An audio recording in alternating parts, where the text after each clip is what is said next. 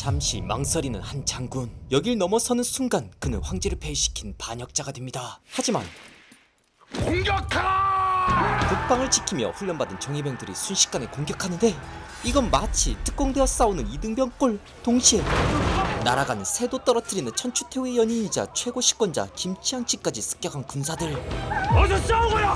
어서! 도려 왕씨의 나라를 김씨로 바꾸려고 했던 김치향 하지만 내 이놈들아! 이 정변을 막고자 황제의 눈을 가린 신하를 바친 대신들 서서히 가까워지는 살아있는 저승사자 무슨 검사? 서북면을 지키는 장군 강조 설득하지 못하면 죽습니다 폐하께서는 도승 검사의 마음을 깊이 헤아리신다 하시었소. 침묵하는 강조 그 징표로 이 자를 이렇게 내놓으셨소. 나라를 혼란에 빠뜨린 간신 살려주시오. 내가 무슨 죄가 있어? 난 그저 폐하가 시키는 대로만 한 사람이오. 다 폐하 잘못이란 말이오. 단번에 황제를 버리는 간신 이번에 호통전법을 쓰는데 이게 무슨 짓이오? 지금이라도 이자를 데리고 어서 서경으로 돌아가시오. 먹고 떨어지라는 말? 그럼 폐하께서 모든 걸 용서하시. 모두의 입을 틀어막기에 충분한 답변 단칼에 고려 조정의 실세가 죽습니다 이래도 나설 거냐고 묻는 강조의 눈빛 3초간의 정적 단번에 황궁으로 진격하는 강조 어머니, 걱정하지 마시옵소서. 괜찮을 것이옵니다. 김치향과 사랑을 나누며 권력을 행사한 천추태후가 이젠 아들 목종품에 안겨 벌벌 떨고 있습니다 물러가시오. 여기가 어디라고 칼을 들고 들어오는 곳이오? 황제의 공간에서 벌어진 사륙 이제 황제를 신하는 아무도 없습니다 폭풍 앞에 등불. 성상배야 도승검사. 대체 왜 이러는 거요? 그리 되어 싸웁니다. 소신도 진정 바라지 않던 일이옵니다. 이젠 돌이킬 수 없는 선택을 한 강조. 폐하께서 조금만 더 일찍 결단을 내리셨다면 이런 일은 없었을 것이옵니다. 너무 늦은 황제. 조금만 더 일찍 이 고려를 바로잡았다면 운명이 아닌 숙명. 소신도 반역자가 되지는 않았을 것이옵니다 도승검사! 지금 꼭 봐야 할 드라마 1위. 오늘 승하하셨사옵니다. 어느 날 갑자기 백수에서 황제가 된 왕. 이게 실화. 뭐, 뭐라고요?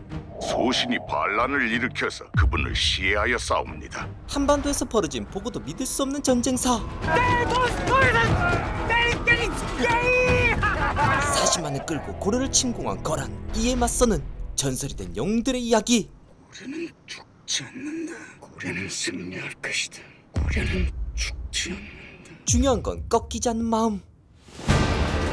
검차에 달라붙어 적을 막으려는 고려군. 하지만 역부족. 그때 등장한 붉은 깃발. 저건 중갑기병입니다.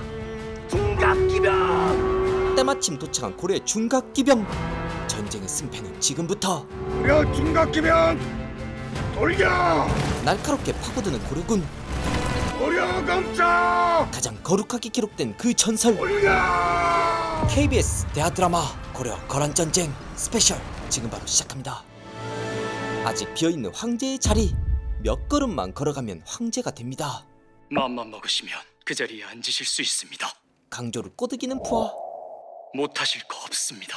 대량원군이 오고 계시네 산중에 틀어박혀 지내시던 분입니다. 그분이 뭘 알아서 이 고려를 이끌어 가겠습니까? 꼭두각시로 앉혀놓느니 공께서 이 나라를 이끌어 가십시오. 가서 하지만 흔들리지 않는 강조 대량 원군을 모셔오게 궁궐에 당도하시는 대로 즉위식을 열겠네 그렇게 18살의 황제가 된 대량 원군 이제 폐하께서 새 황제시옵니다 도승검사. 어서 드십시오 서북면을 지키던 강조가 목종을 시해하고 현종을 왕립한 사건 우린 이를 강조의 정변이라 부릅니다 현종은 알았을까요? 이 많은 대신들 틈에서 적응하기도 전에 거대한 전쟁이 일어날 거라는 사실 황제 폐하 만세 한편 처음엔 다들 도순 검사가 김치향을 처단하러 오는 줄 알았습니다. 그런데 갑자기 태도가 돌변하여 성상 폐하를 시해하고 태호폐하를 유배했다 하옵니다. 한숨을 쉬며 그 말을 듣는 강감천은 오래전 들은 말이 생각납니다 거란의 약탈병 놈들이 갑자기 들이닥쳐서 온 마을 사람들이 포로가 되었습니다. 밤이면 여자들이 끌려가 겁탈당하는 비명 소리를 들으며 땅바닥에 누워 처참한 증언 잠을 청했습니다. 그 속에 제 아내도 있었지만 이 못난 놈은 꼼짝도 못하고 가만히 있었습니다. 백성의 말을 한자 한자 적다가 귀를 들어맞고 웅크리고만 있었지. 너무 큰 슬픔에 그만 차라리 이대로 어르신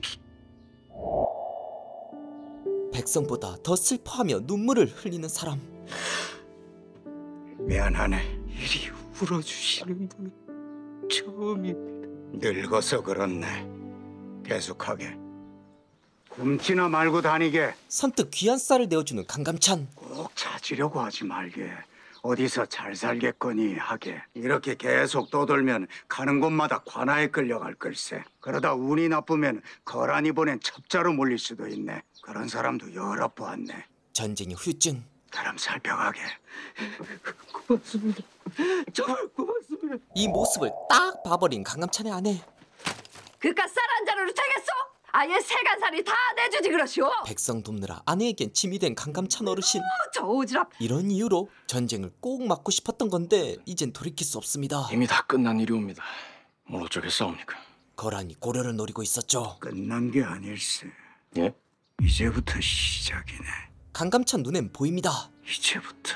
곧 다가올 피해 전쟁이 말이죠 급히 대신의 집을 찾은 강감찬 강공이구려. 그간 평안하셨사옵니까? 여긴 어쩐 일이시오? 할 말이 참 많아 보이는 눈빛 도순검사가 성상폐하를 시해한 일은 거란 황제의 입장에서는 자신이 책봉한 고려 국왕을 해친 일이옵니다. 거란은 분명히 이를 구실로 전쟁을 일으키려 들 것이옵니다. 애견된 결말 속히 거란에 사신을 보내어 새 황제가 즉위했음을 알려야 하옵니다. 고려에서 정변이 일어났다는 게 알려지기 전에 새 황제 폐하에 대한 책봉을 받아내야 하옵니다. 그럼 차후에 정변이 있었음을 알게 된다 해도 더는 어쩔 수 없을 것이옵니다. 중요한 건 책봉 그렇겠지요.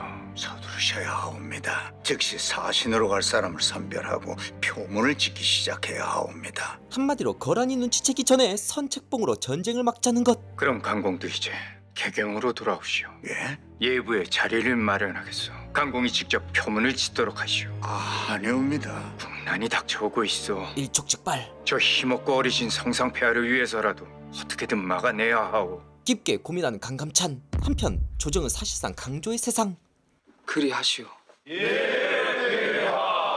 사실상 앵무새가 된 현종 그때 은대와 중추원 등을 혁파하고 새로이 중대성을 설치하여 그 업무를 모두 귀속시켜 싸웁니다. 서북면 도순 검사를 중대사로 임명하시어 중대성을 이끌어가도록 하시옵소서. 한마디로 권력 일원화 은대와 중추원이 무엇을 하던 곳이오? 짐이 조정의 기구를 잘 몰라 묻는 것이오. 아무것도 모르는 황제 하지만 신하들도 침묵합니다 왜 아무도 대답하질 않소? 은대와 중추원이 무엇을 하던 곳인지를 알아야 그곳을 없애도 되는지를 판단할 것 아니오. 그걸 설명하는 순간 강조에게 대드는 것 알았어. 은대와 중추원은 그때 왕명을 출납하는 동시에 궁궐을 수기하고 군기를 관장하는 것이옵니다. 지금 누가 말한 것이오? 강조의 방귀를 든 신하 앞으로 나오시오. 경은 누구요? 예부시랑 강감찬이라 하옵니다. 이때 추정 나이 60대 좀 더 알기 쉽게 말해 주시겠소? 예, 폐하. 은대와 중추원은 한마디로 말씀드리자면 폐하의 명을 전하고 폐하를 지키는 곳이옵니다. 쪽집게 강감찬 그런 곳을 없애도 되는 것이오. 어떤 신하도 말하지 못한 말 아니 되옵니다. 높. 그건 군주의 눈을 가리고 입을 틀어막는 일이옵니다. 그리고 나아가서는 폐하의 안위를 위협하는 일이옵니다. 예부시랑 제지하지만 은대와 중추원을 계속 전속시키시옵소서. 그 두 것은 절대로 없애서는 안 되는 것이옵니다. 없애는 것이 아니라 하나로 통합하는 것이옵니다. 모든 권력은 통합할수록 견제가 힘들어지는 법 이제 소신이 폐하의 명을 전하고 폐하를 지킬 것이옵니다. 소신을 믿으시고 윤호하여 주시옵소서. 한마디로 황제는 아무것도 하지 말라는 것 물론 경을 믿소. 하나 황제의 반격 이렇게 반대하는 신하도 있으니 조금 더 논의를 해봤으면 하오. 다른 사람들은 이를 어찌 생각하시오? 자신의 의견을 차례로 말해보시오. KBS 열린 토론을 여는 황제 하지만 말하는 순간 죽습니다 예부시랑 말고는 반대하는 신하가 없는 듯하옵니다. 어서 윤호하여 주시옵소서. 폐하! 알았어. 현종은 아직 힘이 없습니다 그래 하시오. 하지만 돋보인 나이든 신하의 패기 예부씨랑 그 늙은이가 아주 겁도 없이 설치는군요. 당장 조정에서 쫓아내서 본보기로 삼겠습니다. 그냥 두게 꽤 유명한 사람 본래 그런 사람이네. 중대사 그런 신하 한명 있다고 해서 달라질 건 없네. 하오나 더 중요한 건 거란에 사신을 보내는 일이었는데 이 표문을 지은 사람이 바로 공이시오. 예, 그렇사옵니다. 근데 왜 선대 황제께서는 병으로 승하하셨다고 적었소? 내 눈치를 보느라 그런 거요. 가소롭다는 눈빛 전쟁을 막기 위함이옵니다. 놀라운 해안 중대사께서 자행하신 일은 거란 황제의 책봉을 받은 고려 국왕을 해친 일이옵니다. 거란이 알면 분명히 이걸 구실로 삼아 전쟁을 일으킬 것이옵니다. 아마도 고려 국왕을 해친 역신을 처단하겠다는 명분을 내세우겠지요. 그딴 명분 없어도 전쟁은 예정된 일이오. 기회를 엿보는 것과 기회를 잡는 것은 다른 일이옵니다. 중대사께서는 저들이 원하는 명분을 만들어 주셨사옵니다. 실권자에게도 훈수를 두는 강감찬 어르신 앞뒤 안 가리고 말하는 건 여전하구려. 그럼 전쟁이 벌어지면 온 고려 사람들이 날 탓하겠구려. 누굴 탓할 시간도 없을 것이옵니다. 저 멀리 흙먼지가 일어 바라보면은 어느새 우리 목에 창을 겨누고 있는 것이 거란의 군사들 아니옵니까? 완벽한 분석 속히 사신을 출발시켜 주시옵소서. 시간이 없사옵니다. 100번 옳은 말 강조도 그걸 너무 잘하는 사람이었죠 출발시키시오. 하지만 강감찬 못지않은 강조의 패기 거란군은 내가 선명할 것이오. 다가오는 전쟁이 진정 내가 뿌린 씨앗이라면 내 손으로 모두 거둘 것이오. 한 사람의 능력으로 막을 수 있다면 전쟁이라 부르지도 않사옵니다. 온 고려가 총력을 다해야 하는 일이기에 전쟁이라 부르는 것이옵니다. 전혀 다른 생각을 가진 두 사람 그렇게 소리 없는 신경전을 벌인 강조와 강감찬 사신을 보내 전쟁을 막으려는 고려 이를 지켜보는 북방에서도 최전선 흥하진을 지키는 양규 벌써 몇 달째 사신들이 꼬리를 물고 달려가는군요. 보름에 한 번씩은 압록강을 넘어가는 것 같사옵니다. 폐하께서 어떻게든 전쟁을 막아보려 하고 계시네. 쉽지 않은 일 그게 가능하겠습니까? 나중에 포로 3만 명을 구출하며 영웅으로 기록될 양규는 이렇게 등장합니다 글쎄, 어쨌든 새 황제께서는 우리와 함께 국경을 바라보고 계시네. 작은 희망 난 그게 중요한 거라 생각하네. 모두가 한마음으로 전쟁만은 막아야 했죠 하지만 거란의 외신이 도착하는데 강조는 가볍게 양규와 목매합니다 정전을 가득 채운 서늘한 기운 황제 폐하께서 고려 국왕의 후계자인 대량 원군에게 안부를 전하셨사옵니다. 그래, 감사하다 전해주시오. 인사가 끝나기 무섭게 본론을 꺼내는 외신 황제 폐하께서는 고려에서 일어난 정변의 소식을 듣고 무척이나 분노하셨사옵니다. 명분 제대로 잡은 거란 불충한 역신이 군사를 일으켜 고려 국왕을 시해하였으니 이것은 분명 고려국의 국왕을 책봉한 황제 폐하에 대한 반역이옵니다. 12살에 즉위하여 요 나라의 영토를 확장시킨 정복자 스타일의 황제 야율용서 실권자였던 어머니 승천태후가 죽자 홀로서기에 나선 상황 이미 그에게 고려친공은 정해진 답이었죠 이제 황제 폐하께서는 3년상을 멈추시고 다시 말에 오르실 것이옵니다. 역신 강조를 처단하고 대의를 실현하기 위하여 황제 폐하께서 몸소 40만의 대군을 이끌고 이 고려를 무려 40만 정벌할 것이옵니다. 맞고 싶었던 강감찬 일당백 장군 양규 거란군을 박멸해 반역자에서 공신이 되고픈 강조 폐위된 목종과 달리 왕권을 세우고 싶은 현종 코앞까지 다가온 전쟁 일이 이렇게 되는구려. 경 때문에 온 고려가 전쟁의 참화를 맞이하게 됐구려. 경 하나 때문에. 강조가 일으킨 정변을 빌미로 고려 정벌에 나선 거란 저 비열한 거란 놈들이 날 이용해 먹고 있네. 저놈들이 날 온 고려인의 역적으로 만들고 있어. 명분거리가 된 강조 난 잘못된 황실을 바로잡고 싶었을 뿐이니 오로지 이 고려를 위한 일이었네. 그래도 반역인 건 틀림없는 사실입니다. 뭐? 모든 걸 감수하십시오. 어차피 찬사를 갈구하며 버리신 일은 아니지 않습니까? 사실이지만 한편으론 서운한 감정이 드는 강조 중대사, 약해지지 마십시오.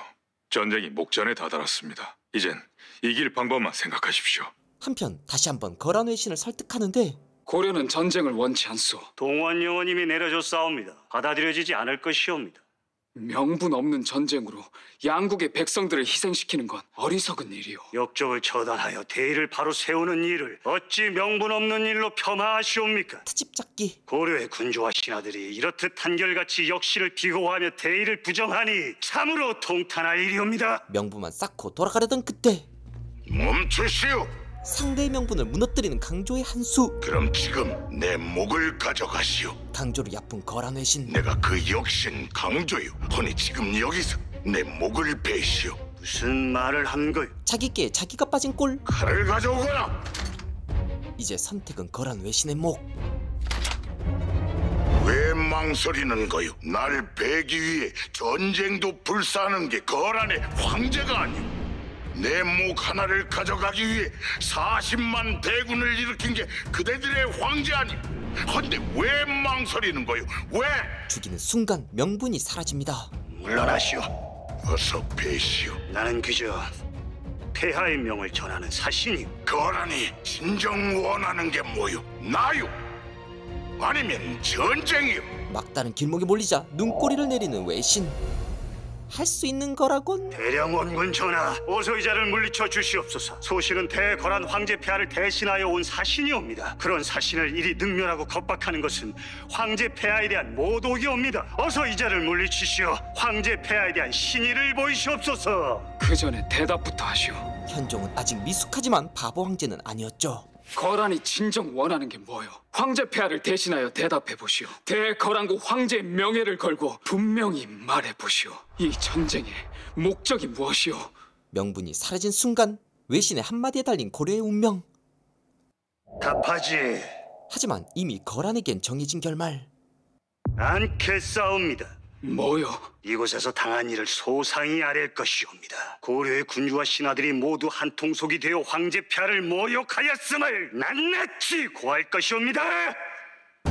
이제 돌이킬 수 없는 전쟁 강조와 양규는 압니다 이제 중요한 건 승리뿐이라는 걸 이제 고려가 선택할 수 있는 건 딱 하나 동원령을 내려주시옵소서. 많은 백성이 포로가 되거나 죽을 겁니다 하지만 전쟁을 준비하겠사옵니다. 이미 주사위는 던져졌습니다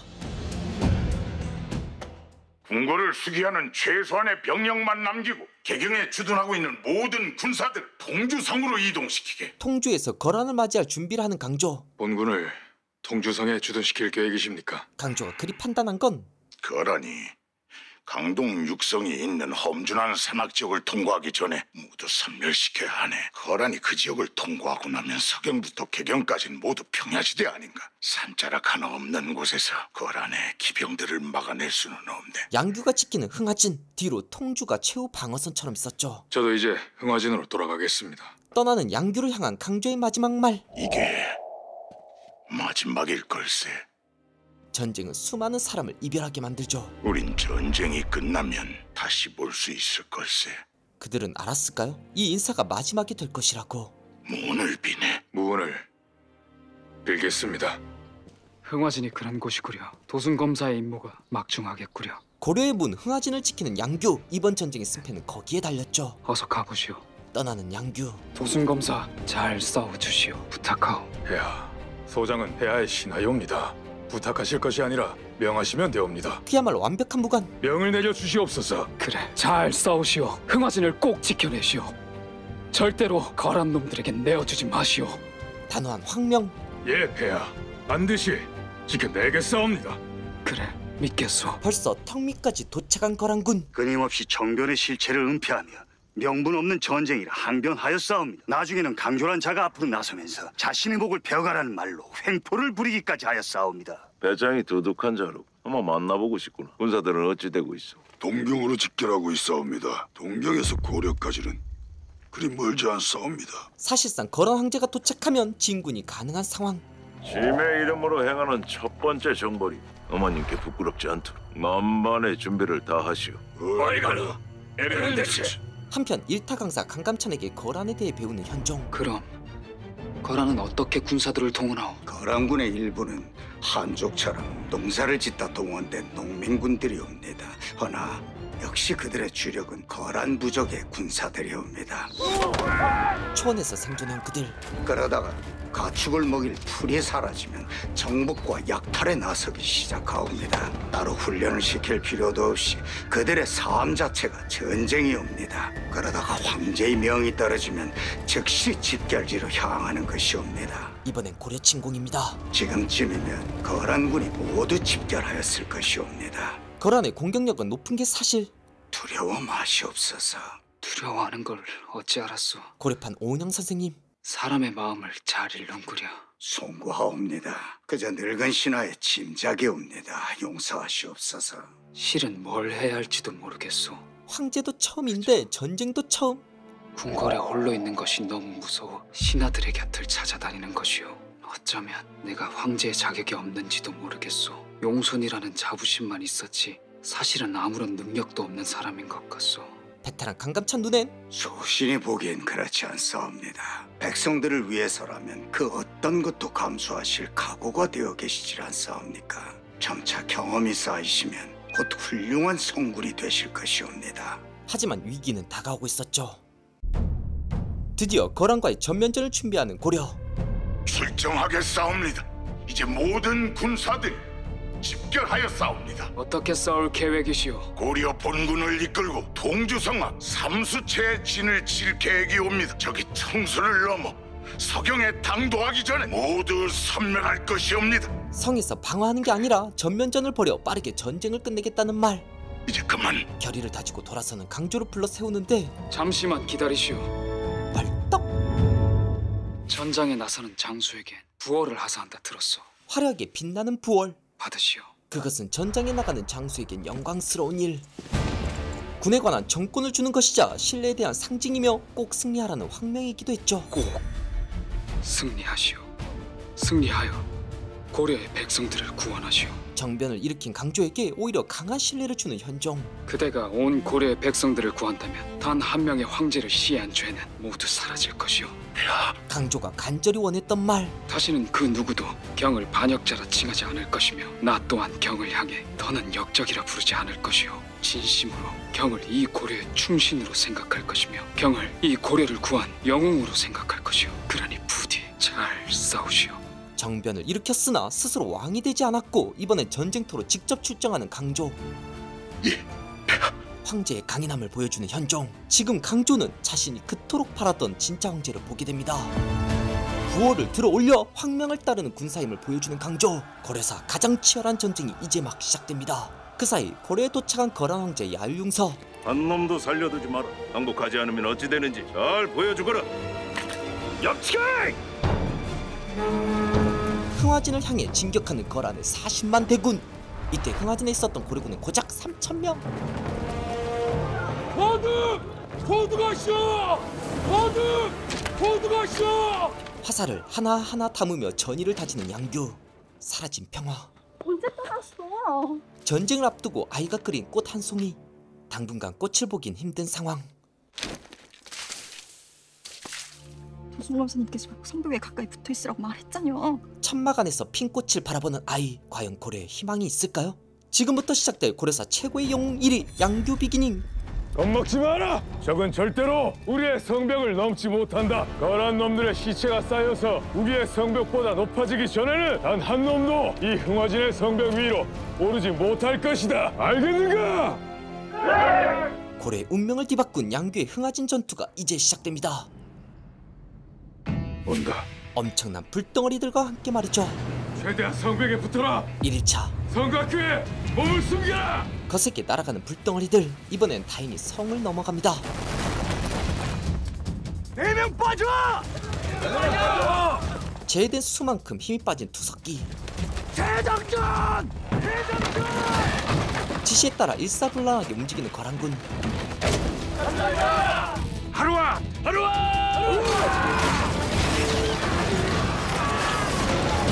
거침없이 날아가는 불덩어리들은 순식간에 성안을 덮치는데 놈들이 거리를 맞춰가네.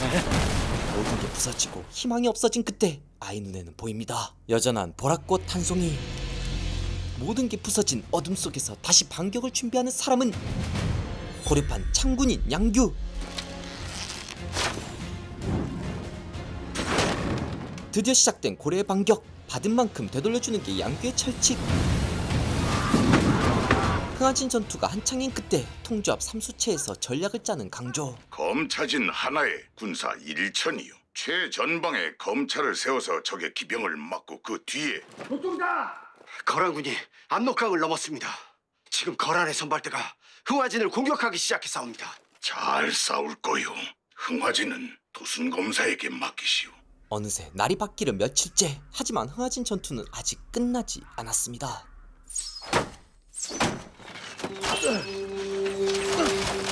이런 무모한 놈들은 처음입니다. 너무 무모해서 무섭습니다. 정신 차리게 이제 겨우 시작이네. 성벽 위에 군사들을 교대시키고 잠깐이라도 잠을 재우게. 오늘 밤부터는 한숨도 자지 못할 걸세. 다시 활시를 당기는 양규 한편 한마디로 말씀드리자면 거란이 전쟁을 벌이는 이유는 바로 약탈을 하기 위해서이옵니다. 양규가 성을 지켜도 성박 백성 모두를 지킬 수는 없는 상황 그리고 그들이 가장 탐내는 약탈품은 바로 무섭게도 사람이옵니다. 사람. 거란과의 전쟁이 진정 두려운 이유는 바로 그것이옵니다. 그자들이 가장 중요하게 여기는 전리품은 바로 사람이옵니다. 성박 주변 마을들을 이미 약탈하기 시작한 거란 하지만 거란 황제의 표정은 좋지 않았는데 7일이나 공격을 하고도 저 작은 성 하나를 함락시키지 못한단 말인가? 선봉도통의 잘못이 아니옵니다. 고려군이 불가사의할 할 정도로 잘 싸웠기 때문이옵니다. 우린 40만이요. 시체를 밟고 올라서도 저 성벽보다 높아질 수 있다는 말이오. 선봉도통, 오늘 안으로 흥아지를 함락시키거라. 아니면 내 너의 목을 베어 흥아진 성문 앞에 던져놓을 것이다. 어이걸러, 에렌됐지. 조급해진 거란은 이제 고려 백성을 방패 삼아 흥하진에 접근하는데 머뭇거릴수록 거란군은 더 가까이 다가올 겁니다. 모두를 지킬 수 없는 딜레마에 빠진 양규 포로들 사이로 자식을 발견한 백성 조심하십시오. 우리 아들이요. 어느새 성벽까지 붙은 거란군 이제 시간이 없습니다 무슨 군사 명을 내려주십시오. 백성을 누구보다 아꼈던 장군 양규 하지만 쏴라.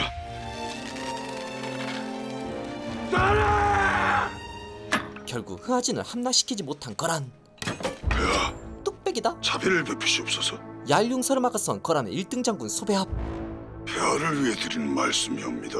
그게 무슨 뜻이오? 폐하께서 이번 일로 거란군의 선봉장을 참하신다면 의도치 않게 그만큼 이 패전의 의미는 무거워질 것이옵니다. 한마디로 패배의 의미를 더 키우는 꼴 폐하께서 아무것도 아닌 것으로 넘기신다면 소배합의 무서운 충원 이 패전의 무게는 아주 가벼워질 것이옵니다. 그렇게 되면 작은 패배일 뿐 폐하께서 진정하시는 첫 번째 정벌이옵니다. 40만의 대군을 이끌고 오신 폐하께서 어찌 흥하진 같은 작은 성에 집착하시겠사옵니까? 결국 더 큰 승리 한 번이면 끝나는 게임 버려두고 가시옵소서. 도통. 망설이는 황제에게 더 큰 물고기를 던지는 소배합 역신 강조가 이끄는 30만의 고려군이 통주성 앞에 진을 쳤다옵니다. 폐하를 위해 소신이 그들을 전멸시키겠사옵니다. 대거란국의 황제 폐하께 올리는 성전부를 전에 올리겠사옵니다. 황제는 더 큰 물고기를 잡기로 합니다 이겼사옵니다. 우리가 해냈사옵니다. 승리한 장수의 표정이 아닌 양규 도순검사 갚아줄 것이네. 천배 만배로 돌려줄 것이네. 양규가 복수를 타지만 그때 남아하기 시작한 거란 황제는 여전히 찜찜합니다 어머님께서 항상 말씀하셨소. 절대로 등 뒤에다 적을 남기지 말라고 말이야. 무로대 예비병력을 남겼사옵니다. 그자들이 아군의 배후를 어지럽히지 못할 것이옵니다. 어서 급한 황제 고려의 공군을 격파하시오. 그렇게 거란은 흥하진을 함락시키지 못한 채 강조가 있는 삼수체로 향합니다 전설이 된 흥하진 전투에 이은 치욕적인 삼수체 전투가 곧 벌어질 참이었죠 지금 뭐라 했는가? 거란군이 남아오고 있습니다. 지금 삼수체를 향해 다가오고 있사옵니다. 그럼 흥화진은 확인할 방도가 없사옵니다. 거란의 대군이 남아오고 있어서 척후병을 올려보낼 길이 없사옵니다. 상식적으로 후방이 적을 두고 내려올 군대도 없기 때문에 고려군은 확신합니다 결국 흥화진이 함락되고 말았군요. 침통한 분위기 이만큼 한 것도 대단한 일이요. 40만의 대군을 7일이나 버텨냈지 않소. 하지만 흥하진이 무너졌다는 건 어쨌든 위기라는 말 도순검사 무섭지만 한편으론 기다린 시간. 이미 고려검차는 준비가 됐고 지는 움직이는 성벽이다.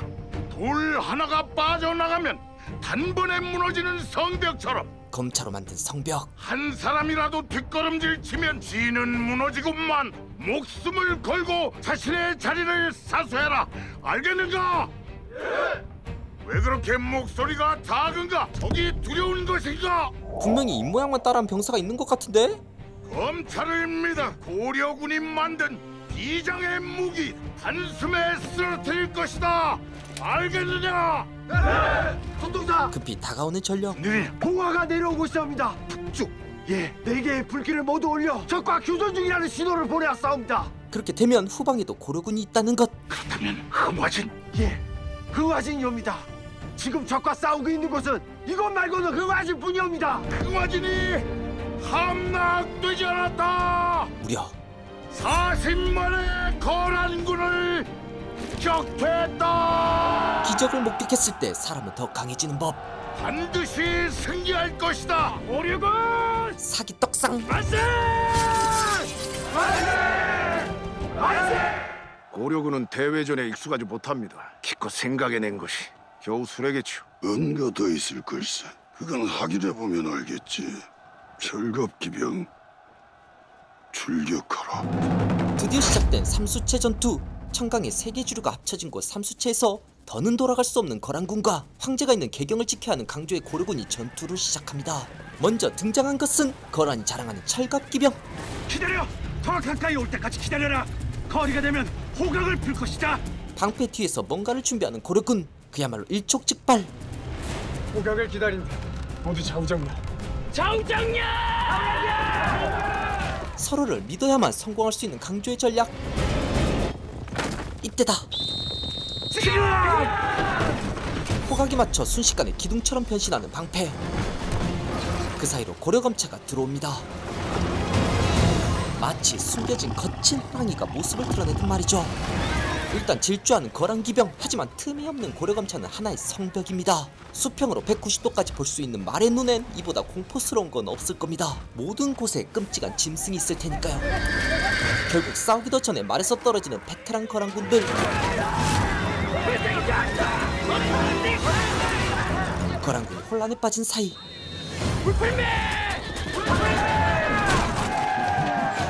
허둥지둥하는 거란군 사이에 떨어지는 돌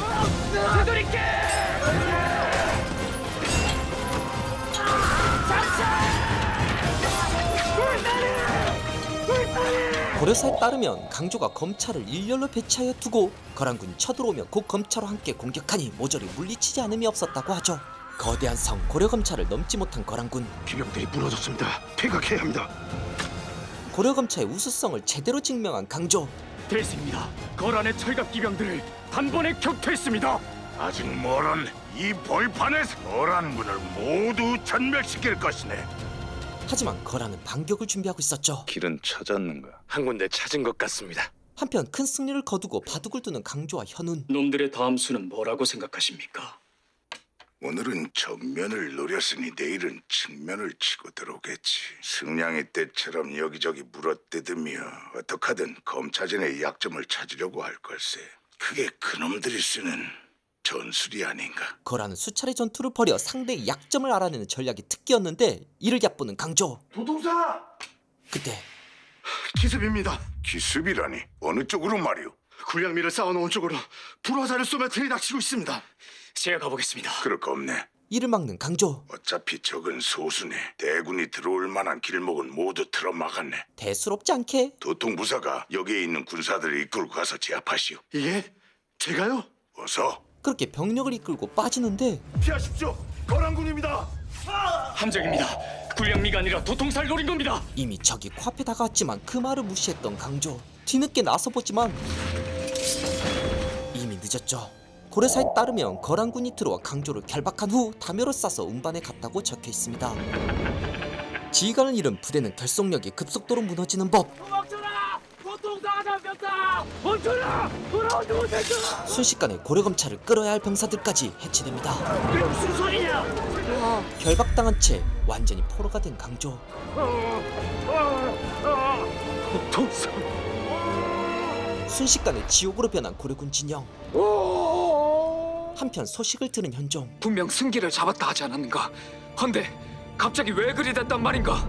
도통사 강조가 적에게 사로잡혀 전열이 일시에 무너졌사옵니다. 그 때문에 군사들이 겁을 먹고 달아나서 제대로 싸워보지도 못하고 패했사옵니다. 지금은 어떤 상황인가? 흩어진 군사들이 곳곳에서 거란군에게 쫓기고 있사옵니다. 일부는 통주성으로 피신했으나 나머지는 무작정 남쪽으로 도망하는 중이옵니다.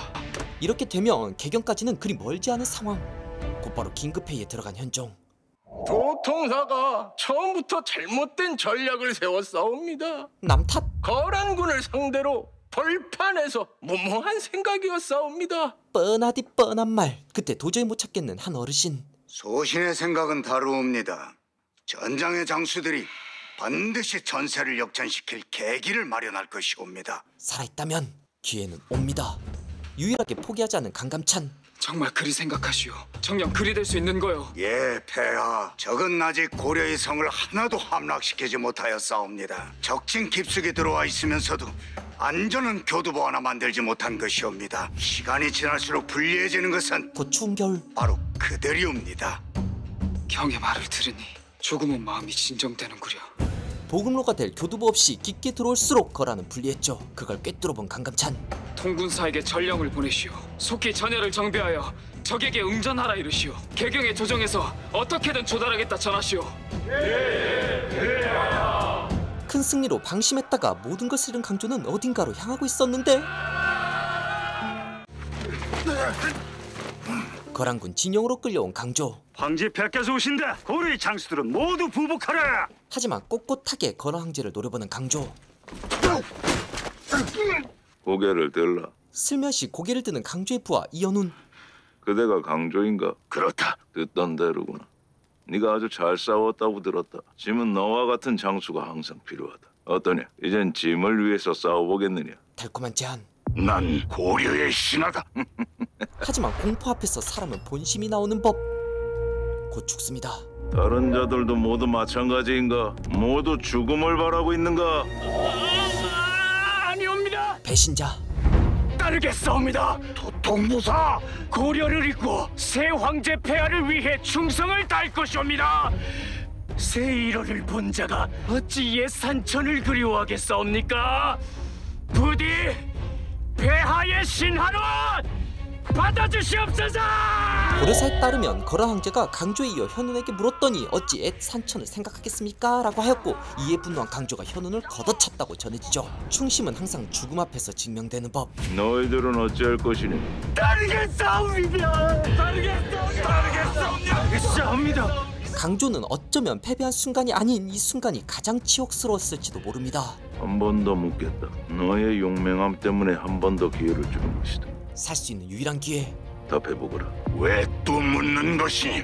오히려 농락하는 강조 대거란의 황제가 어찌 이리 구차하게 구는 것이냐? 어서 죽여라. 도끼나 휘두르는 야만인의 신하가 되느니 사지가 찢어 발겨도 고려의 신하로 남을 것이다. 조금씩 차오르는 황제의 분노 게이지 반역자를 믿고 대군을 맡겨주신 고려의 황제 폐하를 위하여 죽어도 영원히 충성을 다할 것이다. 고려사 기록에 따르면 강조는 거란 군주의 첫 제안을 거절하고 재차 물었으나 처음과 같았다고 하죠. 다시 살을 찢으며 물었으나 대답은 또한 처음과 같았다고 전해집니다. 그렇게 강조의 정변을 일으켜 목종을 폐위시키고 현종을 세운 그의 명이 다합니다. 강조는 반역자였을까? 아님 충신이었을까요?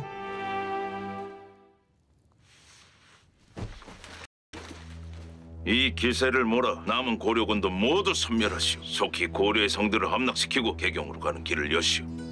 그리고 고려 국왕을 잡아 내 앞으로 대령하시오. 얼마일라 대령 대체 거란군이 이미 청수를 넘어 서경으로 향하고 있사옵니다. 곽주성과 영주성 모두 함락되었사옵니다. 급격하게 무너지는 고려. 유일한 해결책은 그게 대체 무슨 말이오? 친조를 청하라니 항복이라니 아직도 서북면에 여러 성이 분전하고 있어. 어찌하여 벌써 항복을 입에 올린단 말이오? 아직 고려의 군사들이 남아 있을 때 협상을 시작해야 하옵니다. 싸울 군사가 하나도 남아 있지 않을 때에는 저들과 마주 앉을 기회조차 없사옵니다. 패배감에 사로잡힌 궁궐. 정령 그것밖에 없어. 그것만이 백성들을 위하는 길이란 말이오. 이제 현종이 기댈 곳은 딱 한 사람. 예부시랑 형은 어찌 생각하오? 하지만 재상들의 말이 맞사옵니다. 친조를 청하시옵소서. 당장이라도 전쟁부터 하자고 할 줄 알았으나 친조를 청하시옵소서.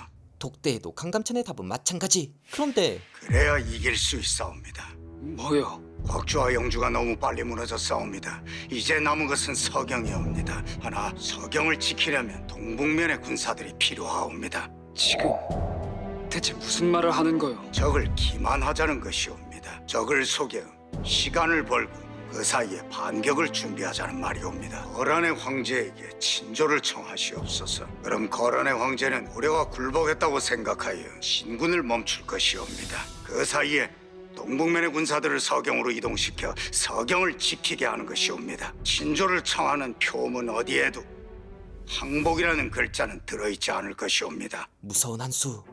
그게 무슨 경의 이런 생각을 다른 재상들도 알고 있어. 모르옵니다. 그럼 재상들까지 속인 것이오.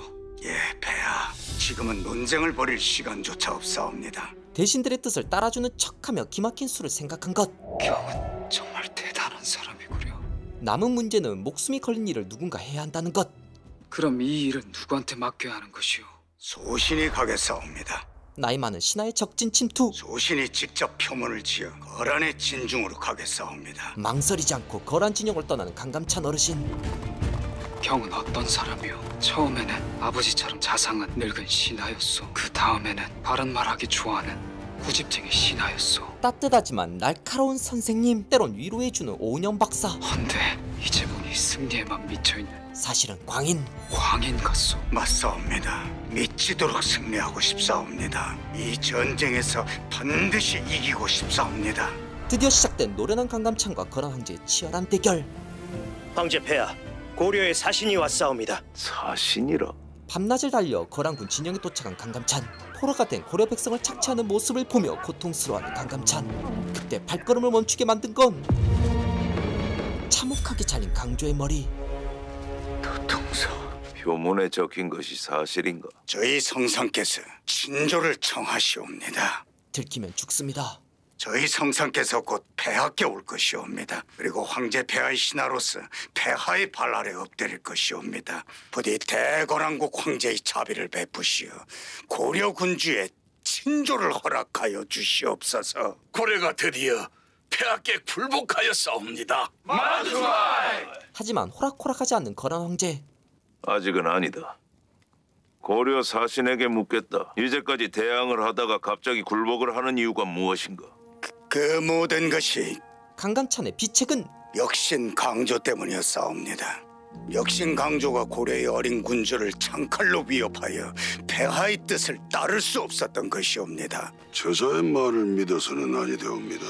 고려는 믿을 수 없는 나라이옵니다. 고려는 친조를 청했을 뿐이옵니다. 아직 고려의 국왕이 폐하 앞에 엎드린 것은 아니옵니다. 고려 국왕이 찾아올 때까지는 쉽지 않은 소배합. 계속 진격해야 하옵니다. 하지만 상대는 폐하 강감찬. 친조를 청한다는 것은 폐하의 발 아래 엎드려 폐하의 자비를 청하는 것이옵니다. 그런데도 진격하여 고려의 군사들을 배신다면 이제 어떤 나라가 폐하의 발 아래 엎드리겠사옵니까? 일리 있는 말. 이제부터 폐하께서 정복하시려는 모든 나라의 백성들은 죽음을 각오하고 마지막까지 저항할 것이옵니다. 거란 황제의 자존심을 살살 건들며 강한 어조로 말한 강감찬. 그래, 황제의 승낙. 짐은 대거란 제국의 황제이니라. 엎드려 자비를 구하는 자에게 기꺼이 관용을 베풀 것이다. 폐하, 완전히 넘어간 황제. 가서 너희 국왕에게 전하거라. 진조를 허락할 테니 어서 찾아오라 이르거라. 여기서 진격을 멈추고 기다릴 것이다. 틀림없습니다. 그 사이 동북면의 군사들이 서경으로 이동할 시간을 벌려는 수작이 옵니다. 동북면에서 서경으로 향하는 길목마다 척후병을 보내놓거라. 이제 완전히 거란 신하가 된 강조의 수호. 어서 돌아가서 조정에 이 소식을 전하게. 정말 저희끼리 돌아가도 되는 것이옵니까? 어서 가게. 예, 그럼 대접을 한다는 명목으로 강감찬을 붙잡아둔 소배합. 근데 고려에도 신하가 많을 텐데 어찌하여 경같이 늙은 신하가 사신으로 왔소? 거란에도 장수가 많을 텐데 어찌하여 도통 같은 노장께서 고려 땅에 오시었습니까? 강감찬의 되치기. 역시 말로는 못당하겠구려. 내하고 소손영이 10여 년 전에 이 고려에 왔었어. 그리고 서희라는 자와 단판을 지었었어. 예, 알고 있습니다. 그때 아우가 내게 해준 말이 있지.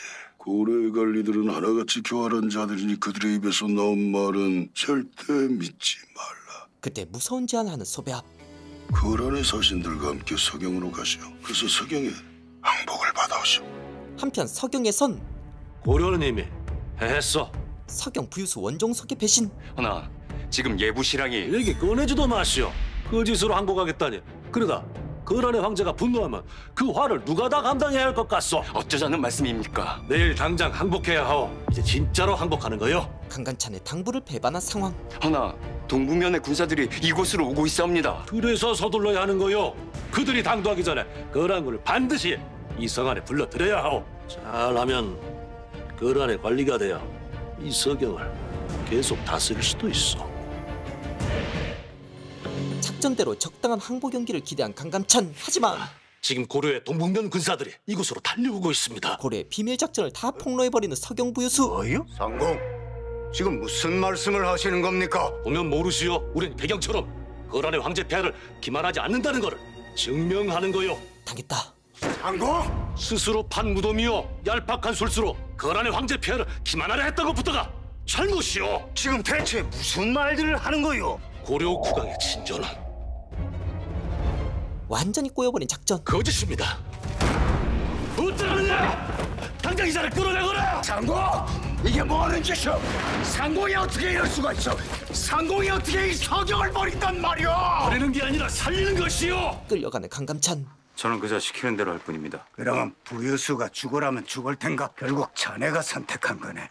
자네 스스로 반역에 동참한 걸세. 어차피 승산 없는 싸움 아닙니까? 승패가 정해져 있는 싸움은 없네. 그건 자네처럼 변명거리만 찾아다니는 자들이 나하는 소리세.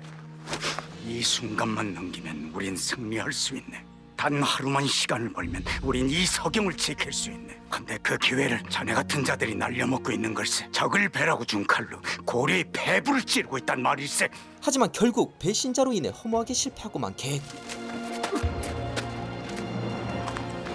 가비 대거란을 기만하려 들다니 황제 폐하께서 절대로 용서치 않으시군요. 강조가 어떻게 죽었는지 아시오. 폐하의 구월의 사지가 조각조각 잘려나가며 죽었소. 범은 분명히 그보다 더 고통스럽게 죽은 것. 그때 산채 뜻 때마침 도착한 건 바로 괜찮으십니까? 동북면 군사들이요? 예, 중랑장 지체문입니다. 지체문. 나중에 현종을 끝까지 지킨 충신으로 현종은 지체문을 두고 소나무와 대나무 같은 절개를 지킨 인물로 표현까지 하죠. 감히 누구한테 칼을 들이는 것이냐? 내가 누군지 아느냐? 내가 바로 고려의 지체문이다! 공은 누구십니까? 바로 그 지체문이 서경에 달려온 것이었죠. 그게 무슨 말씀이십니까? 다시 거란군용으로 가시겠다뇨? 겨우 적의 소나기에서 벗어나놓고 왜 다시 적진으로 들어가시겠단 말입니까?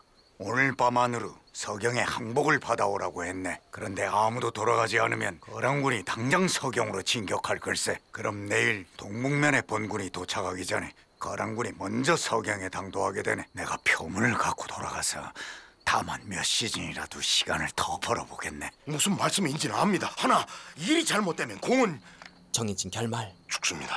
아니, 난 죽지 않을 걸세. 살아서 돌아오기로 폐하께 약속했네. 예? 어서 가게. 가서 어떻게든 서경성을 점령하게. 그래야 봉군이 당도해 서경성 안으로 들어갈 수 있을 걸세. 상공. 시간이 없네. 어서. 한편 강감찬을 기다리는 거란 황제. 정녕 그 늙은 사신이 짐을 면전에서 기만했다는 말인가? 정녕 그 어린 고려의 국왕이 날 가지고 놀았다는 말인가? 폐하, 진격을 명하여 주시옵소서. 서경으로 진격한다. 다시 진군을 준비하는 거란군. 그 사이 당장 성문을 열어라. 너희들을 구하려고 물 한 모금도 마시지 못하고 달려왔다. 누구 마음대로 항복하겠다는 것이야. 하늘에 일이 없지 않느냐? 저 자식에게 부끄럽지도 않느냐? 성문을 열어라. 지체문의 고함에 조금씩 흔들리기 시작하는 서경한 군사들. 돌랄다스카. 서경을 향해 진군하려던 그때 태연하게 거란군 진영에 도착한 강감찬. 다녀왔습니다. 진격할 필요 없습니다. 서경이 항복했습니다. 서경 부유수가 폐하께 올리는 표문입니다. 근데 왜 혼자요? 고려는 이미 창칼을 내려놓았고 저도 이젠 거란의 신하가 된 것이나 마찬가지입니다. 홀로 다닌다 해도 두려울 것은 없습니다. 서경 부유수가 폐하께 올리는 표문이 옵니다. 폐하의 뜻을 받들어 항복하겠다 하옵니다. 군사들을 다시 재우시오. 약속대로 표문을 가져온 강감찬. 하지만 어서 조금만 늦었어도 도통 때문에 큰 실수를 할 뻔했소. 항복한 나라를 공격하는 옹졸한 황제가 될 뻔했단 말이오. 하오나 여러 정황들이 그만하시오. 소배합이 질책당하는 사이 서경으로 이동하는 엄청난 병력을 발견한 거란군. 고려군이다. 고려군이 서경으로 오고 있다. 호르상. 하지만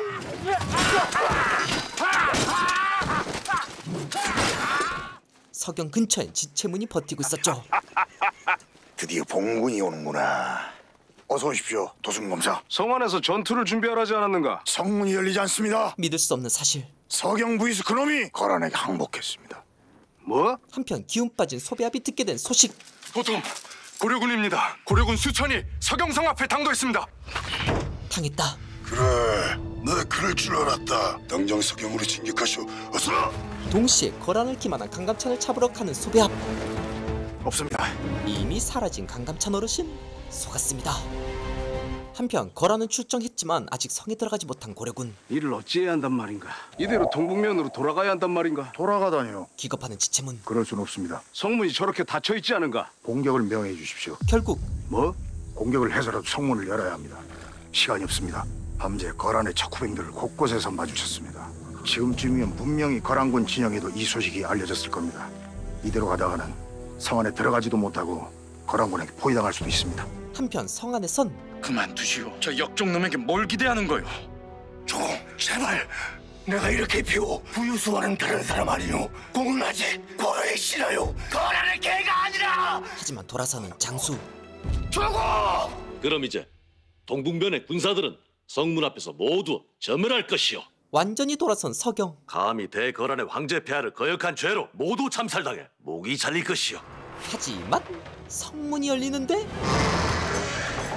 결국 거란의 신하가 될 순 없었던 장수. 어서 성 안으로 들어가라! 어서! 이게 이게 무슨 짓이냐?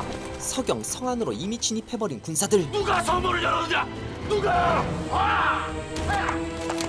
어서 저절을 막아라! 어서! 반가운 친구를 오랜만에 만난 것처럼 배신자에게 다가가는 지체문 단번에 서경인 고려군이 당도했고 고려의 사신은 도망쳤사옵니다. 정말인가? 예, 폐하. 그들이 폐하를 속였사옵니다. 폐하, 당장 서경으로 진격하시오. 가서 한 놈도 남김없이 이가 부서질 정도의 화남. 모두 불태우시오. 어린 황제와 노인 신하에게 제대로 당해버린 차의 역대급 슬픔. 그 사이 모든 상황을 확인하고 개경에 도착한 강감찬. 예부시랑 예, 폐하. 서경은 어찌 되었소? 동북면의 군사들이 도착하여 적과 응전할 태세를 갖추어 싸웁니다. 항복한 게 아니라 다행이요. 전쟁 준비를 했던 것. 참으로 다행이구려. 예부시랑 지금 무슨 말씀이시오? 당황하는 대신들. 이미 항복을 하기로 하고 친조를 청하였는데 어찌 응전을 한다는 게요? 동북면의 군사들이 옮겨갔단 얘긴 또 무슨 말씀이오? 이제야 털어놓는 진실. 고려는 항복하지 않았사옵니다. 폐하! 총각을 다투는 일이라 경들에겐 미리 소상히 논의하지 못하였소. 지금 거란에게 항복하는 것은 옳지 못하오. 한 번 적국에게 엎드리면 다시는 그들과 동등해질 수 없소. 지금 우리는 후손들을 대신하여 이 전쟁을 치르고 있어. 달라진 현종. 우리가 지금 적국에게 갖다 바치려는 강토는 후손들이 집을 짓고 농사를 지을 땅이요. 우리가 지금 적국에게 갖다 바치려는 세패 또한 후손들이 고열을 짜내 갚아야 하는 빚이요. 부디 그걸 명심해 주시오. 우린 항복할 권한이 없어. 한편 거란은 저쪽이 서경성이 옵니다. 분노에 찬 얄융서. 선봉도통이 북문을 공격하고 있사옵니다. 서경성을 포기하고 쉬지 않고 공격하는 거란군. 성문을 열고 출격하겠습니다. 호기롭게 출전하는 지체문. 성문 열어라! 고려사에 따르면 지체문을 선봉으로 삼아 성 밖으로 다가 을룬과 싸우게 하니 을룬과 마보가 폐하에 도망하였다고 적혀 있는데요. 지체문이 어려운 상황에서도 얼마나 용맹하게 싸웠는지를 알 수 있는 대목이죠. 서경의 고려군이 연승하고 있사옵니다. 지체문 중랑장과 대도수 장군이 번갈아 출격하여 거란군을 연달아 격파하고 있사옵니다. 그게 다 사실인가? 예, 폐하. 동국면 도순검사가 이르기를 머지않아 거란군을 청수 이북으로 몰아낼 것이라 하옵니다. 성 안의 사람들은 안정되고 고려 영웅들이 연승하고 있는 상황. 보시오, 고려군이 해내지 않소. 싸울 기회를 마련해 주었더니 이렇게 승전보를 전하지 않소. 동북면의 용장이 거란의 기병을 쓸어버리고 사찰의 승려들까지도 죄 없이 죽어가는 고려의 백성들을 위해 창칼을 들었소. 다시는 항복을 입에 올리지 마시오. 거란은 절대로 이 고려를 정복할 수 없소. 고려는 반드시 이 전쟁에서 승리할 것이오. 모처럼 고려조정에 희망의 빛이 새어나올 때 흥하진에서 양규는 무모한 계획을 세웁니다. 곽주를 탈환하겠네. 예? 지금 곽주는 거란군의 유일한 거점일세. 거길 탈환하면 거란군은 만약을 대비할 수 있는 피난처가 하나도 없게 되는 거네. 군량미와 군수물자를 안전하게 보관할 수 있는 장소도 잃게 되는 걸세. 거란의 아킬레스건. 도순검사. 거란군은 지금 적진에 너무 깊이 들어와 있네. 그런 상태에서 거점까지 이르면 그들은 적진에 완전히 고립되는 걸세. 하, 전멸을 피하려면 철군해야만 할 거야. 700명으로 3만 명을 구한 가자. 양규의 그 유명한 포로 구출 작전이 시작될 참이었죠. 한편 전투가 왜 이리 지지부진한 것이오? 서경은 대체 언제 함락시킬 것이오? 연이은 패배에 초조해진 거란 황제. 어서 전날 뛰는 고려군들을 모두 섬멸하시오. 어서! 도망치는 거란군을 추격하는 지체문. 하지만 아무것도 없습니다. 왜냐하면 거란군이 파놓은 함정이었던 것.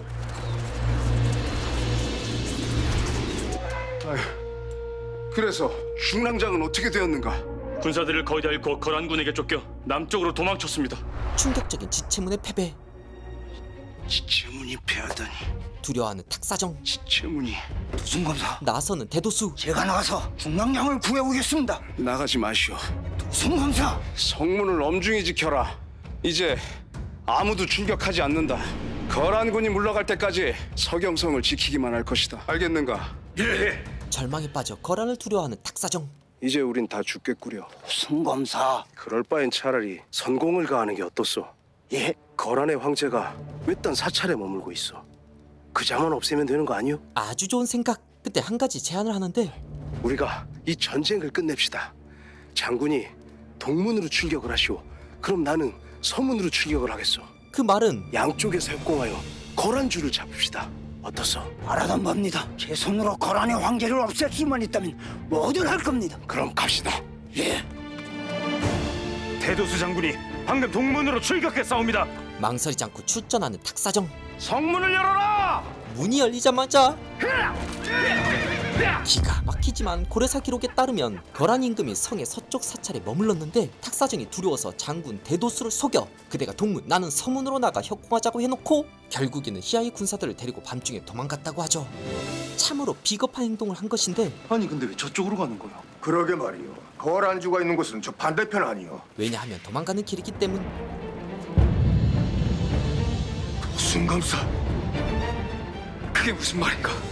다시 말해보시오. 동북면 도순검사가 서경성을 버리고 도주하였사옵니다. 기겁할 일 그럼 서경은 누가 지키는 것이오? 아무도 없사옵니다. 무주공산 중랑장 지체문은 거란군에게 쫓기고 있고 대도수 장군도 거란주를 공격하다가 포로가 되었사옵니다. 이제 다음은 여기 개경 폐하, 어서 피하시옵소서. 서경이 곧 함락될 것이옵니다. 아직 함락된 것은 아니옵니다. 서경에 남아있는 군민들이 힘을 합한다면은 그만두시오.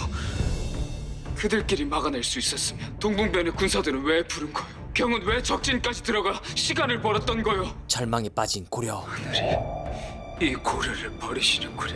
더는 희망이 없습니다 죄 없는 고려의 백성들을 버리시고 잔인한 침략자들의 편에 서시는구려. 한편 서경에선 아니 이보 이보시오. 이, 이제 우린 어찌 되는 거요? 나도 모르고 모르다니 그런 말이 어디 있어? 모르는 걸 어떡하오? 대도수 장군도 없고 지체문 중랑장도 없어. 나도 지금 누구의 명을 받아야 할지 모른단 말이오. 성 안 사람들은 두려움에 떠는데 급히 이동한 통군 녹사 조원. 이게 무관들 명단입니다. 별장들은 이미 다 전사했고 남은 사람은 교위 일곱에 대정 열세 뿐입니다. 뿔뿔이 흩어져 버린 장수들. 이제 어찌해야 합니까? 이제 우리들이 이 서경에서 제일 높은 관리들입니다. 공이 이 서경을 이끄십시오. 제가 어찌 감히 나 같은 사람이 어찌 이 큰 성을 통솔한단 말입니까? 우리가 돕겠소. 지금은 누구라도 앞장선 것이 중요합니다. 거란골이 몰려옵니다. 어찌해야 합니까? 명을 내려주십시오. 망설이는 조원. 뭐 하시는 겁니까? 어서 명을 내려주십시오. 조공. 그래 싸우게 군사들을 이끌고 성벽 위로 오르게 이제 우리가 이 서경을 지켜야 하네 예! 서경성을 완전히 포위했사옵니다. 서경을 지키는 고려군의 수장은 성을 버리고 도자했사옵니다. 곧 함락될 것이옵니다. 서두르시오. 짐은 아직도 분노가 가라앉질 않소. 어서 빨리 개경으로 진격하여 짐을 기만한 자들을 대면하고 싶소. 한편 개경에선 항복을 윤호하여 주시옵소서. 하지만 아니 되옵니다. 예우시야. 눈앞에 전황이 불리할 뿐이옵니다. 당장에 계책이 없을 뿐이옵니다. 하나 결코 전쟁이 끝난 것은 아니옵니다. 제발 그만하시오. 그만. 어떻게든 시간을 벌어서 전쟁보다 더 치열한 토론이 벌어지고 있었죠. 서서히 이길 방법을 찾아내야 하옵니다. 일명 버티기 작전. 시간을 어찌 벌어야 한단 말이오. 거란군이 몰려온다는 소식이 전해지면 배경을 버리시옵소서. 한마디로 도망가자는 것. 지금 뭘 하셨소? 몽진을 떠나시는 것이옵니다. 이곳에 남아 계시다가 적에게 사로잡히시면 그것으로 이 전쟁은 끝이 옵니다. 우선 몸을 피하시고 다시 전세를 역전시킬 방법을 찾아가시옵니다. 말도 안 되는 소리 하시오.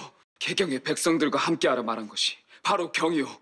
그 말을 듣고 떠나려는 백성들을 붙잡은 게 바로 나요. 헌데 이제 와서 날더러 그 백성들을 버리고 도망치란 말이오. 그렇게 해서 이길 수 있다면 그리하시는 것이옵니다. 예부시랑 시간은 고려의 편이옵니다. 적은 고려 땅에 너무 깊이 내려와 있사옵니다. 그리고 적들이 돌아가야 하는 길목에는 아직 함락되지 않은 고려의 성들이 버티고 있사옵니다.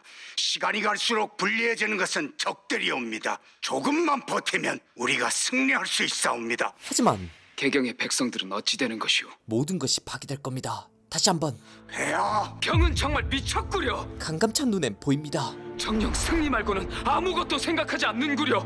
폐하 그만하시오. 왕 없인 이길 수 없고 승리 없인 백성을 지킬 수 없다는 걸 말이죠. 하지만 다들 잘 들으시오. 지금부터 내가 명하는 대로 무조건 행하시오. 항복하지 않을 것이오. 도망치지도 않을 것이오. 이 개경을 지킬 것이오. 한편 통주성에서 병력을 수습한 양교. 우리가 곽주를 탈환하면 거란군은 더 이상 마음 놓고 진격할 수가 없네. 겨우 1700의 군사론 어림도 없습니다. 방법을 찾아내야 하네. 후에 공신으로 기록될 또 다른 영웅 김숙흥을 부른 양교. 전공법으론 곽주를 함락시킬 방법이 없다. 다른 방법으로 성문을 열어야 돼. 그런 방법이 대체 뭡니까? 그건 바로. 전략은 무슨 정찰을 갖다가 허무하게 잡혀버린 김숙흥. 폐하 피하셔야 하옵니다. 중랑장도 승리를 장담하지 못하여 싸웁니다. 개경에 돌아온 중랑장 지체문의 고백. 폐하 백성들은 잘 떠났소. 떠났사옵니다. 하나 아직 남아있는 백성들이 더만 싸웁니다. 그들은 왜 떠나지 않은 거요? 폐하께서 이렇게 남아 계시기 때문이옵니다. 황제가 아직 개경에 계시니 떠날 수가 없는 것이옵니다. 폐하께서 함께 싸우자고 하셨으니 그 명을 받들고 있는 것이옵니다. 황제는 한 나라의 중심이었죠. 떠나시옵소서. 그래야 백성들도 떠날 수 있사옵니다. 강감찬 어르신이 어린 황제를 설득하고 있던 그때 거란군은 서경을 집중 공격하고 있었는데 버티는 군민들 저기 성벽에 접근하지 못하여라. 그 사이 탁사정에게 속아 동문으로 향했다가 결국 잡히고만 대도수와 함께 전장을 관전한 야유용서 장수들이 모두 사라졌는데 저자들은 대체 누구의 명으로 싸우는 것이니? 누가 명하지 않아도 싸울 것이다. 국경을 침범한 야만족을 어찌 그냥 두겠느냐? 점점 더 화가 난 거란의 황제 살아서 고려가 멸망하는 꼴을 보게 할 것이다. 결국 곧바로 개경으로 향하기로 한 황제 짐의 명대로 하시오. 여기서 시간 허비할 필요 없어. 내일 당장 개경으로 진격하시오. 서경을 함락시키지 않고 개경으로 진격할 수는 없사옵니다. 거점도 마련하지 않고 적진 깊숙이 들어가는 것은 스스로 고립을 자초하는 일이옵니다. 폐하의 안위를 위하여 드린 말씀이옵니다. 거점은 곽주로 충분하오. 진격하시오. 거란에겐 곽주가 있었기에 그나마 가능한 선택. 짐의 말대로 따르시오. 날이 밝는 대로 개경으로 진격하여 속히 고려 국왕을 잡아들이시오. 그럼 거란의 필승법. 이 전쟁은 끝나는 거요. 그럼 일부러 잡혀왔단 말입니까? 포로가 되어 각주성에 들어간 김숙궁은 사실 트로이 목마였던 것. 그럼 귀띔이라도 해줘야 할 것 아닙니까? 그럼 자네들이 따라왔겠나? 목숨은 딱 하나. 그래서 날짜는 언제입니까? 내일이다. 비밀리에 출진을 준비하는 양규. 그렇게 후에 전설이 된 양규의 결사대가 통주에서 곽주로 이동하고 있던 사이 20만 거란군은 서경을 지나쳐 곧장 황제가 있는 개경으로 향하고 있었죠. 버티는 지체문 하지만 무너지는 건 시간 문제였죠. 이제 현종이 잡히는 순간 고려는 끝이었습니다. 거란군이 옵니다. 거란군 전체가 개경으로 몰려오고 있사옵니다. 그럼 서경이 함락되었단 말인가? 아니옵니다. 거란군이 서경을 포기하고 개경으로 온 뒤다옵니다. 폐하, 저기 폐하를 노리고 있사옵니다. 어서 피하시옵소서. 결국 몽진한 현종 비어있는 궁궐로 입성한 거란군 어서 고려 국왕을 찾아라.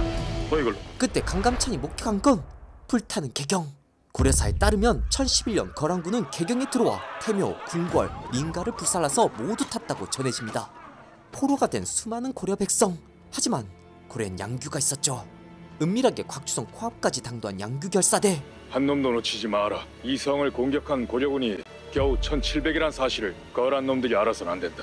반드시 전멸시켜라. 거란 놈들에게 우리 고려군에 대한 두려움을 심어줄 수 있다.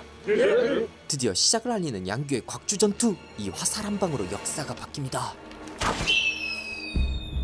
성 내부에서 신호를 기다린 김숙궁 효십니다.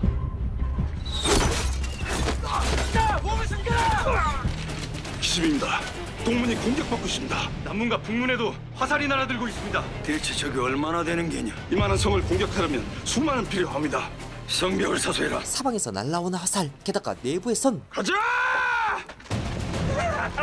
순식간에 성문으로 치고 들어간 김숙흥 양규의 결사대가 순식간에 각주성 안으로 진격합니다 고려사에 따르면 양규가 밤중에 곽주로 들어가 잔류한 거란 병사들을 습격하여 모조리 목을 베었으며 성 안에 있던 남녀 7천명을 통주로 옮겼다고 하니 거란이 뒤통수를 치는 동시에 포로가 된 백성들을 얼마나 많이 구했는지 알 수 있죠 장군! 성문이 모두 열렸습니다. 고려군이 성 안으로 물밀듯이 들어왔습니다. 거란 완벽한 패배 이후 양규의 결사대는 두고두고 거란군을 괴롭히게 됩니다 한편 드디어 현종의 자리에 앉은 야율융서 고려 국왕은 어디 있는가? 왜 아무 말이 없는가? 고려 국왕은 도망쳤사옵니다. 도망이라니. 상상도 못한 일 명색이 군주란 자가 제 백성을 버리고 도망을 쳤단 말이오? 그게 있을 수 있는 일이오? 분명 개경을 함락했는데 뭔가 묘하게 돌아가는 분위기 그때 해야 급보이옵니다. 곽주성이 고려군에 의해 함락되었사옵니다. 거란이 유일하게 믿었던 후방 곽주가 함락된 것 하룻밤 사이에 성에 함락되고 그곳에 있던 군사들 모두 전멸하였다옵니다. 뒤통수가 얼얼한 거란 황제 하지만 양규는 멈추지 않죠 나는 성문을 모두 부수고 가옥을 전부 불태워라. 거란 놈들이 다시 돌아와도 아무것도 남아있지 않게 해라. 기껏 함락시켜놓고 전부 불태우란 말이옵니까? 우린 성을 차지하러 온 게 아니다. 적의 거점을 없애려고 온 거다. 이제부터 나무 힘을 한데 모아서 반격을 준비해야 한다. 이제 우리 고려군의 차례다. 이제 앞뒤로 고립된 거란은 현종을 잡기 위해선 남하를 해야 하는 상황 그것은 불가한 일이옵니다. 더 이상의 남하는 위험하옵니다. 지금도 우리는 고려 땅에 너무 깊이 들어와 있사옵니다. 우리 거란의 기병대들이라면 수일 안에 고려의 땅 끝까지 당도할 것이옵니다. 당장 진군을 명해 주시옵소서. 폐하, 지금 누구의 앞에서 언성을 높이는 거요? 우들갑들 떨지 마시오. 작은 성 하나를 잃었을 뿐이요. 고려 국왕을 잡으면 끝나는 일이오. 그럼 우리가 돌아갈 길은 저절로 열리게 되어 있어. 한편 충주에선 전쟁으로 두 아들을 잃은 관리가 이 소식을 듣게 되는데 그게 정말이요. 아, 그렇소. 아, 피난민들이 줄줄이 내려오기 시작하더니 황제도 도망쳐 나왔다고 하오. 이 기회를 놓칠 수 없는 충주오장 박진 황제는 지금 어디 있어? 한편 서경성은 황제가 서거했다는 등의 소식으로 혼란에 빠진 상황 북문에 흔들리지 말게 폐하께서 정말로 승하하셨는지는 아직 알 수 없네. 거란 놈들은 지금 적진에 고립된 거랑 마찬가지네. 반격을 가할 기회가 왔네. 흔들리지 말고 전투를 준비하게. 하지만 안 좋은 소식에 흔들리는 건 장수들도 매한가지. 그때 도순검사 거란에서 사신이 왔사옵니다. 황제 폐하의 명을 전하러 왔소. 고려의 장수들과 백성들은 들어라. 애석하게도 너희들의 국왕이 숨을 거두었다. 그게 사실이라면 이제 남은 건 항복뿐. 이제 장칼을 내려놓고 모두 항복하라. 심지어 가져온 게 모든 장수에게 상복을 하사하니 속히 너의 국왕 장례식을 치르도록 하라. 거의 다 속아 넘어간 그때 등장한 건 일마시오! 다름 아닌 강감찬 할아버지. 폐하는 무사하십니다. 거란의 천적 강감찬. 거란군을 피해 잠시 몽진을 떠나셨습니다. 그 말은 지체문 중랑장이 군사들을 이끌고 호위하여 남쪽으로 무사히 피신하셨습니다. 헛소문을 퍼뜨려 후방을 무너뜨리려고 했지만 이놈들이 감히 막아선 양규.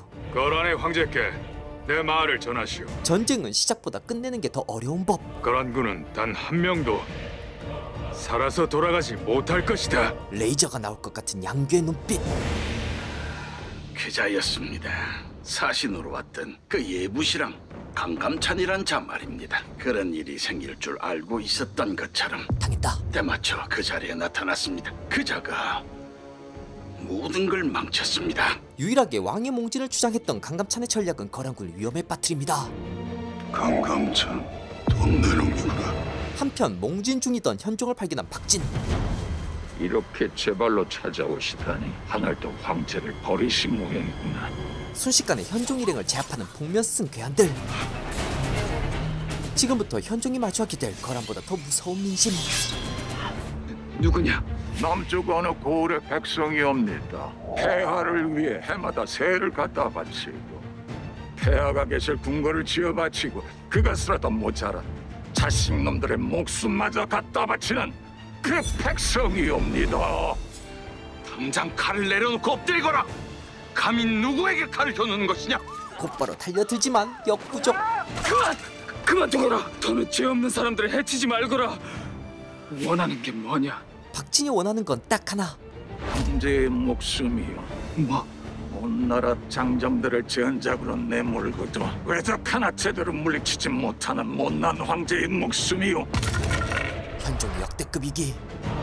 도대체 얼것이 그때 때마침 도착한 지체문과 병사들. 이처럼 현종은 도적과 싸우기도 하고 지방 관리에게 능욕당하는 고단한 피난길을 감당하고 있었죠. 한편 거란 놈들의 주력은 개경에 진주하고 있는 20만의 본군입니다. 그간의 전투로 3, 4만이 죽었다 해도 여전히 15만이 넘는 대군입니다. 그럼 너무 역부족 아니옵니까? 정면으로 공격해서는 승산이 없네. 놈들이 철군을 시작하면 우리가 유리한 곳으로 끌어들여서 싸워야 하네. 어딜 말씀하시는 겁니까? 양규의 선택은 자네가 지키고 있는 귀주네. 귀주에서 흥화진으로 이어지는 산악지대로 놈들을 몰아넣어야 하네. 그럼 거란 놈들은 이 비좁은 산길을 통과하느라고 행렬이 길게 늘어질 걸세. 하지만 대군이 움직일 때는 넓은 길을 따라 행군하는 게 기본입니다. 놈들도 그걸 잘 알 텐데 무슨 수로 기주로 유인한단 말씀이십니까? 이쪽 길이 가장 안전하다고 믿게 만들어야지. 그때 그 전에 거란군을 철군시킬 방법부터 찾아야 하지 않겠습니까? 우리가 방법을 찾지 않아도 놈들은 곧 철군을 시작할 겁니다. 놈들에겐 이제 시간이 없습니다. 시간이 없다 하면 말을 방목할 시기가 다가오는 것을 말씀하시는 겁니까? 예, 그렇습니다. 거란군은 이제 군사들을 고향으로 돌려보내야 할 시기입니다. 만약 전쟁 때문에 생업을 잊지 못하게 된다면 거란의 군사들이 동요하기 시작할 겁니다. 양규의 예상대로 거란에게 시간이 없었죠. 폐하, 이제 서서히 철군을 준비해야 합니다. 도통의 말이 맞사옵니다. 이제 군사들을 고향으로 돌려보내야 할 때이옵니다. 게다가 1월이면 압록강이 녹아 강을 건너기 힘들어지는 상황. 아니되옵니다. 이대로 철군하시면 폐하의 위신이 땅에 떨어질 것이옵니다. 소장들의 생각도 그러합니다. 대거란국의 군대가 이 작은 고려를 평정하지 못하고 돌아갈 수는 없사옵니다. 남쪽으로 진격을 명하여 주시옵소서. 이제 선택은 거란 황제 얄융서의 몫이었죠. 앞만 보고 도망치는 자를 따라잡는다는 것은 쉬운 일이 아니옵니다. 게다가 우리 거란군은 고려의 남쪽 지리를 전혀 모르옵니다. 폐하, 이제 그만 철군을 준비하시옵소서. 경이 나라면 그럴 수 있겠소. 모든 제국의 비웃음을 사면서 그럴 수 있겠소. 이대로 물러선다면 거란 황제 입지가 줄어드는 상황. 군사들을 잘 먹이시오. 수일 안에 고려 국왕이 잡히지 않으면 남쪽으로 진격하겠소. 폐하 거란의 명장 소배합이 보기엔 그건 무리수 하지만 황제를 막을 명분이 부족했죠 생각하시는 계책이 뭡니까? 도순 검사께서 허락하신다면 제가 거란의 황제 몰래 거란군의 도통을 한번 만나보겠습니다. 그자와 함께 거란의 황제를 회유할 만한 명분을 찾아보겠습니다. 그리고 명분이 마련되면 그자가 황제를 설득하여 철군을 시작하게 하겠습니다. 양규와 강감찬이 반격을 준비하는 동안 관리들도 안 보이고 노비들도 안 보이옵니다. 모두 도망친 듯하옵니다. 지방 행정이 제대로 작동하지 않는 걸 보고 느낀 현종 이 역의 관리도 이 고을의 호족이요. 절도사들을 제외하곤 지방의 관리들 대부분이 그 지역의 호족들이옵니다. 고려는 아직 호족들의 나라였죠 공주로 향하면 되는 것이요. 그리고 만약 그곳의 호족들도 분위기가 심상치 않다면 현종에게 남은 길은 딱 하나 그럼 나주로 가시지요. 나주. 나주는 태조대왕께서 건국의 기반을 닦던 곳입니다. 그곳에 여러 호족 가문과 긴밀한 인연을 맺으셨지요. 그곳의 사람들은 분명 폐하를 진심으로 반길 것이옵니다. 경들의 생각은 어떻소? 전하의 말씀이 옳은 듯하옵니다. 그곳이라면 폐하께서 안심하고 머무실 수 있을 것이옵니다. 먼 길이 되겠구려. 실제로 현종은 나주까지 피난을 가게 되죠 멈춰라 누구야? 갑자기 소란스러운 박상황 이 마을에 사는 사람들이요. 무슨 일이야? 폐하께서 오셨다기에 음식을 좀 장만해 왔소. 역에 쌀독이 빈 지가 오래됐사옵니다. 하여 두 분께서 끼니조차 걸으실까봐 그저 헉이라도 면하시라고 가져왔사옵니다. 이 은혜는 잊지 않겠소. 아이고 아, 아니옵니다. 어서 드시옵소서. 백성이 건넨 따뜻한 음식에 오랜만에 배를 채우는 현종 음, 종아리가 뭉칠 정도로 경계를 섰던 장수들도 오랜만에 쪼그려 앉아보는데 쳐다보는 지체문 군 기강은 밥 먹을 때도 중요한 법 이 고을의 호장은 지금 어디 있어? 거란군이 내려온다는 소문을 듣더니 식솔들을 이끌고 어디론가 떠났사옵니다. 백성들에겐 평소 어찌 대하던 사람이오? 머뭇거리는 백성 잘해 주시옵니다. 거짓말하지 마시오. 이복에 사람도 아닌 자유옵니다. 제 마음에 드는 사람한테는 새도 깎아주고 부역도 면해주지만 마음에 들지 않는 사람한테는 역에서 지금 말까까지도 뜯어가는 자유옵니다. 사람 말을 구워주고는 이자로 단말을 받아가옵니다. 고리대 그걸 갚지 못했더니 어린 제 딸년을 빼앗아갔사옵니다. 차마 들을 수 없을 정도로 참혹한 지방 상황 어찌 그런 일이 있을 수 있어? 그런 일을 왜 당하고만 있어? 이 고을에서는 그자가 왕이옵니다. 왕께서 그러시는데 누가 막을 수 있사옵니까? 대체 절도사들은 뭘 하고 있는 것이오? 열 손가락 남짓한 절도사들이 온 고려의 호족들을 감시할 수는 없사옵니다. 그리고 설령 그들의 횡포를 알아낸다 해도 옳은 척 넘어가기 쉽사옵니다. 그들이 협조하지 않으면 새를 거두는 것조차 힘들 테니 말이옵니다. 태조 왕건이 고려를 세운 지 아직 얼마 지나지 않은 상황 호족의 힘은 강했고 세금 제도는 미미했죠 정녕 내가 허수아비였구려. 아무것도 모르는 반쪽짜리 황제였구려. 한편 다시 만난 강감찬과 소배합 강감찬의 당돌한 제안 철군을 돕겠다. 그렇소. 어떤 명분이면 공이 귀국의 황제 폐하를 설득할 수 있겠소.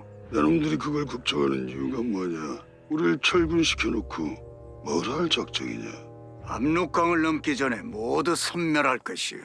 다른 거란군 장수와 달리 소배합은 그 말을 이해했죠 만약 거란군이 계속 개경에 머문다면 을왕군은 결국 자멸할 것이오. 섣불리 남쪽으로 진격한다면 영원히 고향으로 돌아가지 못할 것이오. 닥치지 못하겠는가? 거란군이 살 길은 지금 철군하는 것이오. 거란의 약점을 파고든 강감찬 이제 말씀해 보시오. 공이 황제 폐하의 마음을 돌리려면 무슨 명분이 있어야 하오? 거란에게 필요한 건 바로 고래의 항복이다. 거래의 기술은 속마음을 들키지 않는 것 어이없다는 웃음을 짓고 돌아서는 강감찬 그럼 돌아가겠소. 아니면 그만한 명분이다. 폐하께서 여러 제후국들에게 위신을 세울 수 있을 만큼 충분한 명분. 그게 무엇이오? 다시 한번 진조를 청해라. 이번에는 고려 국왕이 거란 땅까지 찾아가겠다 해라. 고려의 군주가 직접 국경을 넘어와 폐하의 발 아래 엎드리겠다는 서약이라면 내가 폐하를 설득해 볼 수 있다. 굴욕적인 친조를 약속하라는 것 좋소. 자넨 어서 폐하를 찾아가게. 예. 공은 안 가십니까? 난 여기 남아서 거란군의 동태를 계속 살피겠네. 그때 이 만남을 주시한 누군가? 거란의 선봉 야율분노. 네 놈에게 기만당한 순간부터 이 전쟁이 어긋나기 시작했다. 단번에 도끼를 내려치려던 그 순간 폐하 죽이기 전에 알아내야 할 것이 있사옵니다. 그만 거란군에 잡혀버린 강감찬 어르신 얼마나 버텨줘. 그리고 곧 펼쳐질 고려와 거란의 역대급 전쟁 승리할 것이다. 과연 막을 수 없는 역사의 물줄기는 앞으로 어떻게 흘러가게 될까요? 보고도 믿을 수 없는 전설이 된 영웅들의 이야기 저건 사원수 둔갑기병입니다. 둔갑기병. KBS만이 할 수 있는 바로 그 이야기 고려 감자. 다시 돌아온 명품 사극 고려거란 전쟁은 KBS에서 매주 토요일 밤 9시 15분에 방송됩니다. 여기까지 컨텐츠의 새로운 재미를 더하는 시선 김시선이었습니다